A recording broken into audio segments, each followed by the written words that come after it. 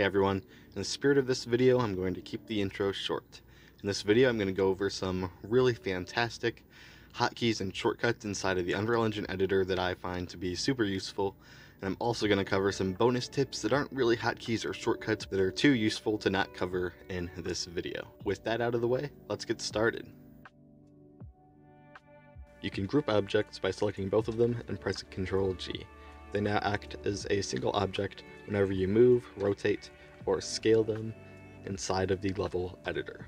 If you have a group but you want to move a single item in it, just right click on an object in the group, go down to groups, and then select unlock. I can now move the objects individually and when I'm ready to treat them as a group again, I right click on one of the objects, go to groups, and click lock.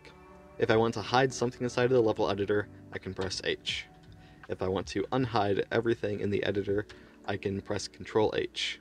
If I want to move an object in the editor, but I want the camera to follow where I'm moving that object, all I have to do is hold shift while I click and drag on that object's gizmo. If I want to focus my view on an object quickly, I can select it and press F on the keyboard. You can switch between transform modes quickly by using the W key for translation, the E key for rotation, and the R key for scaling. You can also switch between these modes by pressing the spacebar. You can snap an object to the floor by pressing the End key. You can snap an object's pivot to the floor by pressing Alt and the End key. You can snap an object's bounds to the floor by pressing Shift and the End key. You can move the pivot of an object with Alt and the middle mouse button. If you have grid snapping enabled, it will snap the pivot to the grid. It's a great way to offset your axis of rotation. Hold V while translating an object to enable vertex snapping. Another useful tip is to create a hotkey for the paste here action. To do so, go to Edit, Editor Preferences, Keyboard Shortcuts, and search Paste here. And then you can give a new binding. I will give it backslash you can give it whatever you want, whichever you whatever you want to use that you don't have bound to something else. Now, if I were to click this cube, copy it, I'll go ahead and paste it with Control V, and now I'll move it over here. Now, since I have this cube copied, let's say I want to paste it over here next to this cube, and it's a long distance, and I want to move an object, and I don't want to click and drag and fly it over all I have to do is select the object nearest to where I want to paste it and hit the backslash key on my keyboard. And it will paste the object in. You can use F2 to rename pretty much anything that can be renamed in the engine. It's much faster and easier than right clicking. You can break blueprint connections by alt clicking on them. B and the left mouse button creates a branch. S in the left mouse button creates a sequence. F in the left mouse button creates a for each loop. P in the left mouse button creates a begin play. D in the left mouse button gives you a delay. G in the left mouse button gives you a gate. M in the left mouse button gives you a multi-gate. N in the left mouse button gives you a do n times node. O in the left mouse button gives you a do once node. If you're anything like me, you'll often find yourself with some extremely messy blueprints. An easy trick to fix them up fairly fast is something you're probably already aware of, where you can highlight multiple nodes, right click, go to alignment, and choose a way to align them. But what you might not know is that each and every one of these has a hotkey. Straighten connections and align left are the two I use most often. Here I'll use Q to straighten the connections on my nodes, and I'll use Shift A to align my nodes to the left. You can use Control F to quickly open a Find Results menu in any blueprint. A super useful window at that. When you copy nodes inside of the blueprint editor, they are copied to your computer as text, meaning you can paste them into a text file and send it to anyone you want to share your blueprints with, where they can then copy the text out of the file and paste them into their blueprint editor. 1 in the left mouse button gives you a 1D constant. 2 in the left mouse button gives you a 2D constant. 3 in the left mouse button gives you a 3D constant. S in the left mouse button gives you a scalar parameter, V in the left mouse button gives you a vector parameter, M in the left mouse button gives you a multiply node, A in the left mouse button gives you an add node, T in the left mouse button gives you a texture sample node, U in the left mouse button gives you a texture coordinate node. I have six more bonus tips which didn't really fit into any other category that I wanted to share with you all in this video. First one is that you can use these transform inputs or any input that takes in a number as a calculator. For example, for the location, I could set it to 1 plus 1, which would give me 2, of course. It's a super useful little feature that not everyone knows about.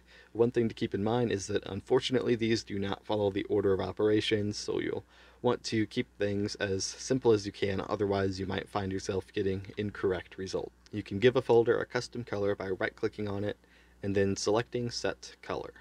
Let's give this one uh, some pinkish purple color. And now our folder has been colored. It's a great way to organize things better in your content browser. This next one is something I wish I learned much sooner than I did. Whenever you delete and replace references or move something from one folder to another in your content browser, Unreal Engine creates redirectors. And these can make things pretty messy. They're invisible and they can cause issues later on when maybe you want to go back into a folder where you had something that was once named a certain thing. Maybe you even then renamed it, but now you're back in the original folder and you want to give something that name again, but the engine won't let you because there's a redirector with that name pointing to the object that you moved and then renamed. It's these kinds of situations and they build up over time and it can get very annoying. So a best practice is to whenever you delete, rename, or move something in your content browser or place references in any way, right click on your folder and then click Fix Up Redirectors in Folder. It'll make sure everything stays clean on the invisible side of your content browser. There's an awesome feature that I just learned about while doing research for this video. It is the Boolean search bar. You can actually search for multiple things at once inside of Unreal Engine by putting a vertical pipe between whatever it is you're searching for. I could search for blueprint at a vertical pipe, which is that symbol on the backslash key that you type when you hold down shift. And I could also search for material. And now all of my objects that are a, that have blueprint in their name or have material in their name show up. You can also separate out your search terms with an AND symbol, which allows you to hmm, let's say search for every object that has both new and blueprint in its name, but they can be separated, there can be things in between them, and they don't have to be in that order. Finally, last but not least, another feature that I really wish I'd known much sooner, and another one that I only learned about when I was researching for this video, is the add feature or content pack option under this add option in the content browser. You can actually use it to add the content packs or features that it that Unreal Engine presents to you on startup to a project, such as the third person example project in Blueprint or C++ or even the starter content content pack. We can add the starter content to our project now, and if we check our content browser, well, here it is.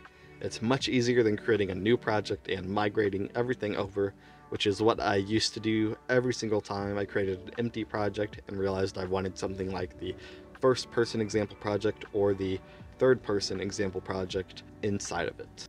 Alright everyone, I hope you enjoyed the video. If you did, be sure to leave a like and subscribe to the channel. There are more videos on the way, and I'll see you in the next video. And I almost forgot, the Discord server is linked down in the description Come join, check it out. Love to see you there.